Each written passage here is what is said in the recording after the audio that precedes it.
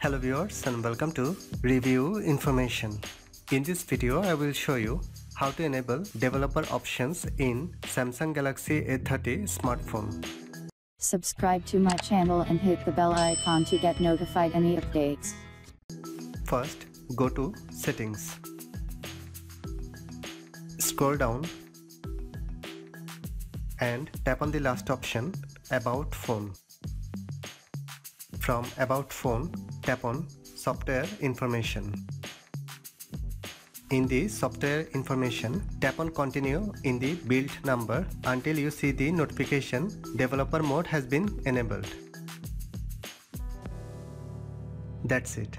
Your developer options is enabled. Now go back. Again go back. Under about phone you will find developer options. Tap on this.